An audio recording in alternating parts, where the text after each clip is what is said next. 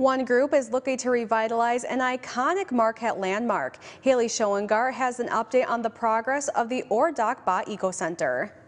The Ore Dock has been an iconic part of Marquette's landscape for many, many years, but for the last couple decades, it has sat unused. I spoke with one woman who wants to bring life back to the Ore Dock.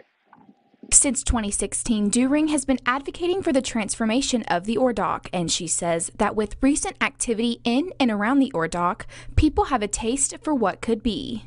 We had such a luxury when all of this smooth ice arrived and people could literally walk on water and get out to the dock and then they could experience it in ways that pictures just could not convey. Wondering how much something like this would cost? Doering says the best answer she can give us is I don't know. We will have to update that as the dates become more concrete because at that time we'll see what the building material prices are. Doering says there is even a unique way that we can all contribute to the funding of this project. One of the most effortless ways that you can help with the funding and drops fill up the bucket, as one of my coworkers would tell me, is when you buy something on Amazon, do it via Amazon Smile, smile.amazon.com.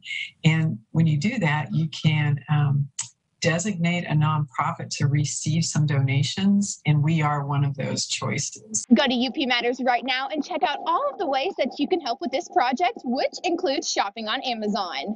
In Marquette, Haley Schoengart for Local 3 News.